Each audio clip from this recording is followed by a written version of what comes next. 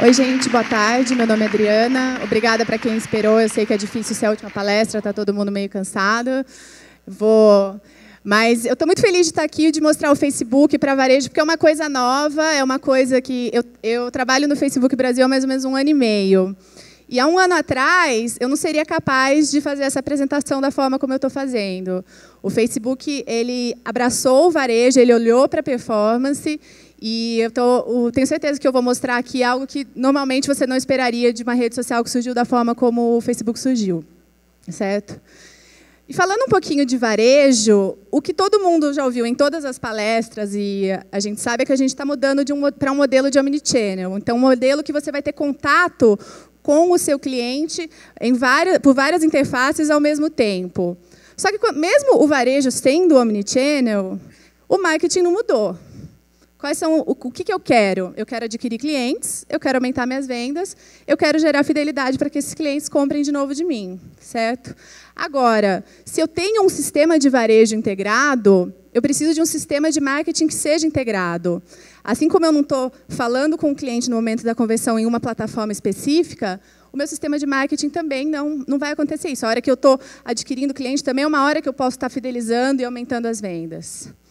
Então, quando a gente fala de um sistema de marketing integrado, eu queria desenhar o melhor sistema de marketing integrado possível. O que esse sistema ia ter que ter? Para começar, ele ia ter que ter pessoas, porque afinal a gente vende para pessoas e quanto mais pessoas, melhor. Mas eu, queria, eu quero pessoas engajadas, eu não quero uma base parada, eu quero uma base que interaja, que esteja interessada. Eu quero uma base que esteja conectada entre si, que as pessoas falem entre si e isso gere recomendações. Eu quero falar com as pessoas certas. Não adianta eu vender salto alto para homem. Eu quero falar com quem é meu público. Eu quero ter várias formas de falar com elas, porque eu tenho várias formas de vender para elas. E eu quero várias formas de medir eficácia. Quando eu falo de omnichannel, eu também estou falando de uma mudança de mensuração muito forte. Então, existe um sistema que eu acho que se assemelha um pouco a isso. Eu tenho um, uma rede que tem um bilhão de pessoas no mundo. No Brasil, são 67 milhões de usuários. Ou seja, estou falando quase de 80% de penetração dos usuários de internet. Eu tenho uma base que é engajada. A média de seis horas é, de utilização do Facebook por mês. No Brasil, essa média é mais alta. Ela chega quase a oito. A gente pode falar que, em alguns momentos, a cada cinco minutos navegados na internet, um, a pessoa está no Facebook. Eu estou falando de uma base que é conectada entre si. As pessoas têm, em média, 150 amigos no Facebook. O brasileiro, sempre social, tem uma média maior. Então, as pessoas estão usando essa rede para conversar entre si, para gerar recomendação.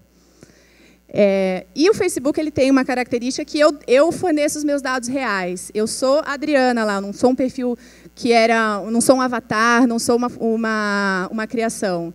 Então, isso gera precisão de segmentação. Você vai saber do que eu gosto, você vai saber onde eu moro, você vai saber todos os meus detalhes. É uma mídia que consegue atingir as pessoas em vários lugares e de várias formas. A gente está no desktop, a gente está no celular. Você pode falar por texto, você pode falar por foto, você pode falar por vídeo. E a gente tem várias formas de medir a eficácia do, das nossas ações, seja em clique, seja em view, seja em conversão. Ou seja, ideia, o Facebook é um sistema de marketing integrado que atende muito bem a esse momento de varejo omnichannel. E aí tem, eu vou mostrar aqui, eu acho que é o próximo slide, um vídeo de uma empresa que está fazendo isso muito bem. Ah, não, não é, desculpa. É, as pessoas não sabem o que elas querem comprar.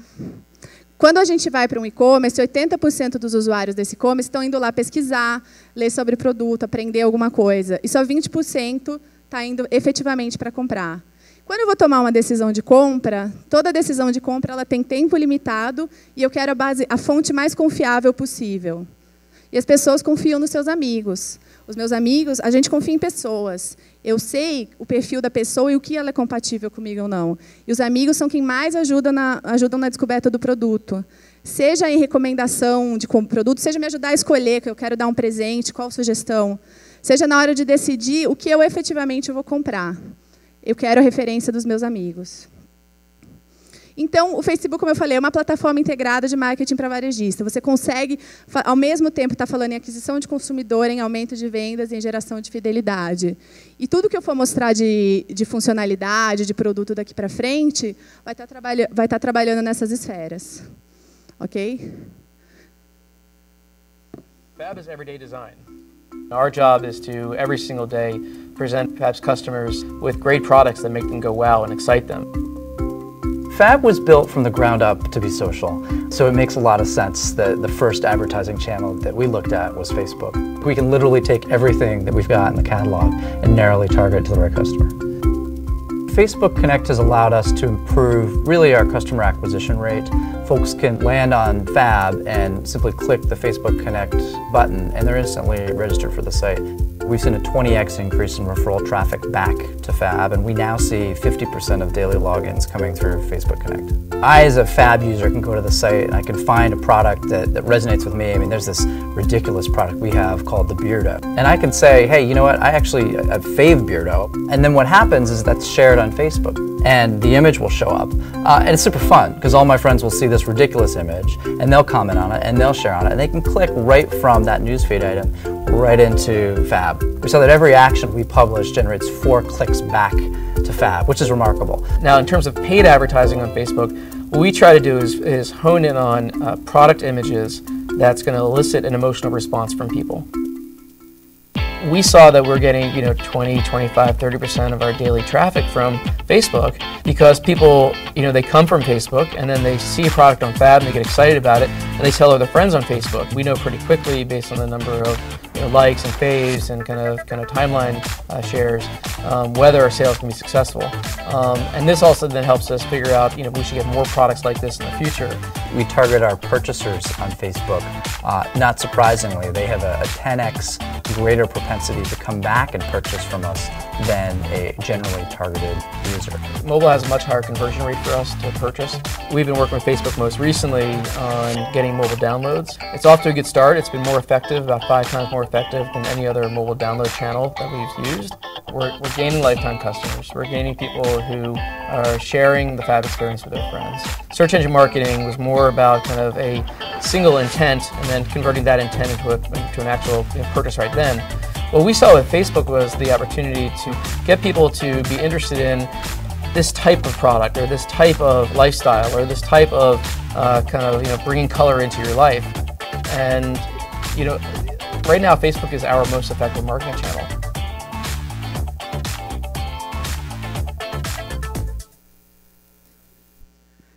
A FEB ela mostra o marketing integrado. Você viu aí que a gente falou de várias plataformas e várias soluções. Claro, eles não são, eles não são os únicos que estão fazendo um bom trabalho. A gente tem muitos varejistas utilizando bem o Facebook e aqui no Brasil. Então, aqui são alguns dos nossos, de, alguns players que a gente considera que tem um trabalho bem, bem diferenciado, certo? O que, que o Facebook tem a oferecer aos varejistas? A gente tem uma, uma variedade de formatos. Hoje, o, o formato que a maioria de, de todo mundo que está aqui conhece, que é o formato mais associado com performance, é o anúncio de link externo, que é o mais padrão, é, é muito focado em volume, mas ele é muito limitado em termos de criativo, em termos de placement. Ele só aparece no lado direito e ele, ele tem esse formato muito padrão. A gente tem outras formas de atingir esse público. Eu tenho page post, seja com uma foto, seja com um link que vai para o meu site, que eu possa aparecer no feed do celular, que eu possa aparecer para a pessoa na, é, como uma recomendação dos amigos dela. E eu posso trabalhar uma imagem mais cativante, eu posso trabalhar uma oferta melhor. Eu tenho as ofertas, que são um post específico para uma ação. Eu tenho uma promoção, uma liquidação. O post ele é feito para gerar essa conversão para você. Eu tenho um formato só para instalação de aplicativo de celular. Além de varejo omnichannel, o que todo mundo mais deve ter ouvido aqui é mobile, é celular, é o próximo passo e é uma revolução que está acontecendo no Brasil, assim como está super adiantada lá fora. E as pessoas conseguem, é, é, conseguem ter uma alta taxa de instalação com esse formato no, no Facebook. Além disso, quando eu falo de prospecção, estou falando de aquisição de novos clientes, eu preciso de informação, eu quero as pessoas certas falando para a minha marca. A gente tem os dados que o, o usuário passa para a gente. A gente tem informações demográficas, a gente tem segmentação por categoria, seja uh, qual celular a pessoa usa, qual sistema operacional ela usa. Qual, ela está noiva, ela está no momento de, de repente, estar tá grávida, comprar, um, comprar uma roupa de bebê. Como que eu consigo trabalhar em várias formas de segmentação para prospectar exatamente o público que eu quero. Além disso, depois que eu prospecto, eu vou criando uma base. O que eu posso fazer com essa minha base? Hoje a gente tem uma funcionalidade em que a tua base de e-mails ou uma base de telefone, que você tem a tua base de CRM, vira um cluster de segmentação. Você identifica os seus segmentos, você encontra essas pessoas no Facebook e você alcança exatamente quem está dentro da tua base. E se a pessoa foi até o meu site, é, foi se cadastrou e não converteu, que até tudo a ver com o que o Rony estava falando agora, a gente já tem uma ferramenta de remarketing. Que quando você fala de uma mídia como o Facebook, que gera muito tráfego por ser uma mídia de descoberta, é uma rede que está tendo um resultado muito forte em, em ROI. E o remarketing, enfim, funciona, não preciso ensinar ninguém aqui sobre como funciona, é o funcionamento padrão, mas você consegue ter uma queda de CPA muito forte com esse formato que mais? É, a gente hoje, como a gente tem um grande volume de entrega, a gente precisa entender melhor como a gente pode entregar um, uma conversão melhor. A, a, é, esse é um lançamento super recente, que a gente tem um pixel de conversão que vai no teu site. O que, que acontece? Hoje, quando eu estou entregando uma campanha, eu consigo otimizar para quem clica mais, porque é a minha métrica de sucesso. Com o pixel de conversão, o pixel está no teu site, eu vou entregar para quem converte mais. Eu tenho dois perfis de pessoas e, às vezes, um clica mais, mas não compra, mas o outro, que talvez não clique tanto, compra mais. Só que esse é mais interessante para mim. O sistema ele cria uma modelagem para você e entrega o teu anúncio para pessoas que vão converter mais. O que, que acontece? Queda de CPA, melhora de taxa de conversão. Integração da plataforma é a forma de você facilitar a recomendação dos amigos. Hoje é um movimento natural que a gente já faz. Se eu estou num, num, site, eu quero comprar alguma coisa que eu gostei, eu quero a opinião das pessoas, eu naturalmente já posso copiar esse link e colar no Facebook. Muita gente faz isso. Eu estava recentemente vendo informação de cliente de, de, um cliente meu de classificados, e todo mundo que anuncia uma coisa no classificados, a primeira coisa que faz é pegar o link e colocar no Facebook porque quer divulgar para os amigos. A mesma coisa quando eu quero uma opinião, quando eu quero uma recomendação. Então, o que, que a gente fala? A gente tem, a gente tem processo de integração da plataforma para agilizar essa conversa. A gente não vai ser a mídia proprietária de, de todo o site. Você não vai ter só um site dentro do, do seu e-commerce, não vai estar 100% dentro do Facebook e não vai ter uma mídia fora. O que a gente faz é fazer com que os dois conversem mais rápido. Eu quero que o cara compartilhe o que ele gosta, que ele peça uma recomendação, eu facilito essa história para ele. Então, eu coloco um botão de curtir, que leva a pessoa direto para o produto. Eu coloco uma recomendação pós-compra. Então, comprei esse abajur, o que vocês acharam? As pessoas vão comentar, vão, vão ver o que eu comprei, vão se interessar. Eu, eu, uma outra coisa interessante, o Facebook é uma fonte de, de cadastro. As pessoas estão cadastradas lá e têm muita informação. Hoje eu posso simplificar o meu cadastro com o login do Facebook. As pessoas não, ninguém quer ter, lembrar de várias senhas. A gente acaba tendo um pouco de, de barreira quando se fala de cadastro. E com o login é um cadastro num só clique que você recebe todas essas informações. E tudo que eu falei, eu falei muito forte agora em, em, questão de gerar tráfego e de você melhorar a conversão. Mas tudo isso eu estou trazendo as pessoas e eu preciso gerar fidelidade. É, trabalhar no Facebook, todo mundo sempre vem, te falar, eu quero ter um milhão de fãs quero ter um milhão de fãs. Tudo bem, mas quem são esse um milhão de fãs? E uma coisa que a gente sempre fala é: fã é um sinônimo de consumidor. O teu fã tem que ser o teu melhor cliente, porque a, pessoa que vai querer se conectar com você, porque é a pessoa que vai querer interagir com você. Ela vai, vai interessar pelo que você está falando com a voz da tua marca.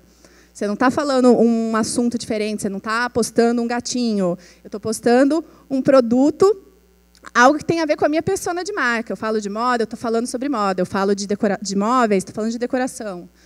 Ela vai interagir com isso. E essa interação faz com que ela influencie os amigos. Os meus amigos sabem do que eu gosto, sabem do que eu entendo ou não. E a partir do momento que eles veem uma interação minha, essa recomendação é muito forte. Porque os meus amigos confiam em mim. Então, é, é um sistema gerado para criar fidelidade. Fidelidade é a chave para rentabilidade de longo prazo. E os fãs, como eu falei, os fãs são seus melhores clientes. A gente fez uma análise com os fãs dos principais varejistas nos Estados Unidos, e todos os casos, o fã é o teu cliente que gasta mais, então Best Buy, Amazon, Target, Walmart, e o amigo do fã é o teu segundo cliente que gasta mais, porque mesmo que ele não seja necessariamente teu fã, ele é muito influenciado por essa recomendação. Ele tem uma pessoa em quem ele confia, que está sempre interagindo e falando com ele.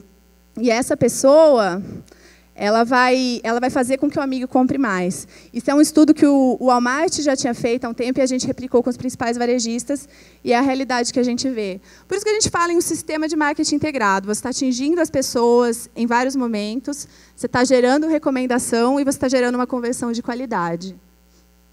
E é isso. Perguntas?